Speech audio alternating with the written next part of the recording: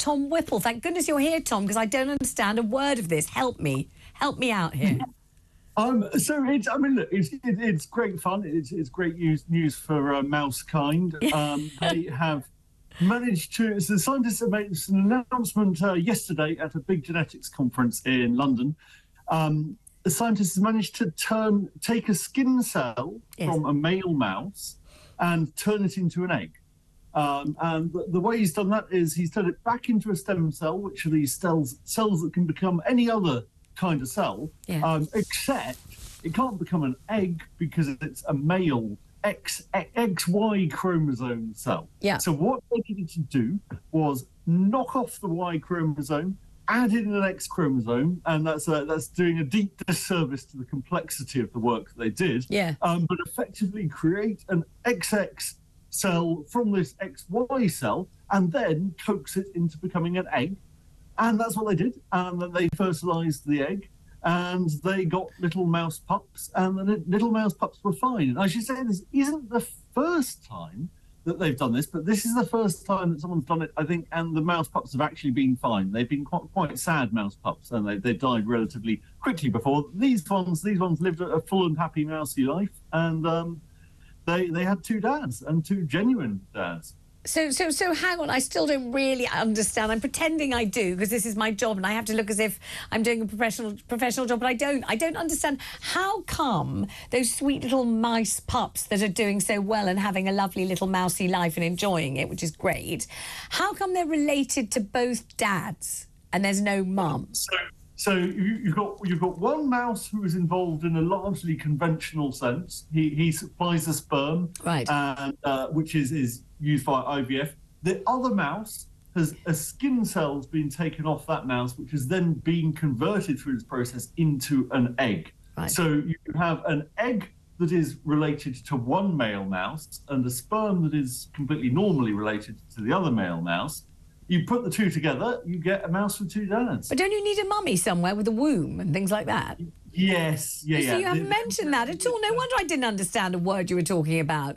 There has to be a mummy, otherwise they can't have a baby, can they? On International Women's Day, or just after it, we should acknowledge the role of the surrogate mouse in in the entire palaver. We yes. definitely should. I think you've massively underplayed the role of the mouse with the womb, which is the female mouse, which is absolutely essential for this to happen at all, right? So essentially, the female mouse has been has had an egg implanted in her womb, and that egg has been grown from the skin cell of one male mouse. And that male mouse is the lovely gay partner of the other gay male mouse. And then the other partner has has impregnated the egg with sperm. So we've got an egg made out of a skin cell. Sperm from one male mouse, skin cell from another male mouse, but you still need the lady mouse, or you've got nothing at all. You still, la- lady mice should not be concerned that they're redundant. No, Uh, good. they, they are they are the surrogate. and They are crucial to the process, um, but they are not producing a biologically related mouse. They are they are an incubator for the two gay dads mouse. I mean, we, we, we can't impute the sexuality of mice, obviously, uh, but uh, yes, yeah, the, the sort of putatively gay mice. Right, and, and this idea that you can coax an egg out of a cell, a a completely different cell, is that the sort of thing that at some point we think will happen for humankind and not just mousekind? Um, yeah, so that that process is, is that's how stem cells do it. You sort of you've got a stem cell and you give it the kind of environment that you would expect for that cell to become in, and it's a quite astonishing process. But yeah, they are they are looking at humans. They're looking at humans because actually this this originally began because they wanted to cure, not cure, they wanted to give fertility to women who who have this thing called Turner syndrome, which means they've got one X chromosome that's inactive and doesn't really work, and the simplest way of seeing whether you could replace an X chromosome would be this, the process that they did. So they want to look at humans for that reason, and maybe for the gay dance reason as well. But there are big technical problems. It's a lot harder to do this with human eggs, and obviously there are massive ethical problems which they haven't even got into, and they freely acknowledge. You know, you would need a big societal discussion about this. Right, and but but but obviously it's front page of the Times. We take that very seriously. It's written by you. We take it even more seriously. We can't help our brains rushing into the future and imagining this happening and and being I don't know and and and women therefore being kind of womb caretakers of babies conceived using DNA from two chaps and no woman at all. Yeah, I mean, look, I, I, I personally would still choose the traditional method um, with, with my wife, but uh, yeah, I acknowledge it. But we, we already have the situation where you have surrogate parents who act in this way very altruistically yes um, for, for, for, different reasons so you you can understand that happening but mm. there are also plenty of safety reasons why you would really want to look carefully at this these are not you know we, we don't know quite what's happened to mm. these eggs uh, and quite the extent to which they really are totally analogous to uh, to normal eggs. So there's there's a heck of a lot of things that need to be looked at: safety, and, just practical, to, uh, technological. And, just to ask a, a, question which will reveal my C grade at biology O level to my shame, you'll be horrified.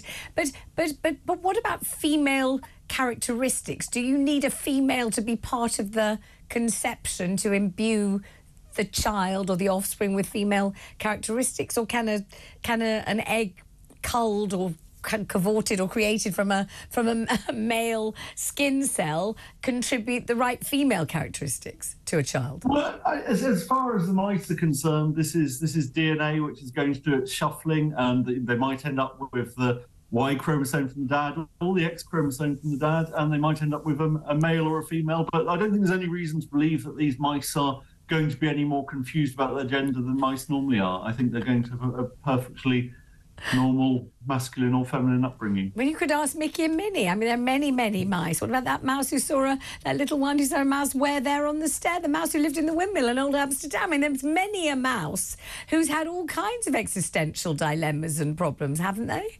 Well, I think we, you, all you're demonstrating there is the versatility and stoicism of mice and their ability to cope with with all manner of, of, difficult situations. So I have confidence in, confidence in Mousekind that they will navigate this as they have in the past other challenges. It's been a pleasure, a delight. It's been surreal in many ways, but it's been great. That was Tom.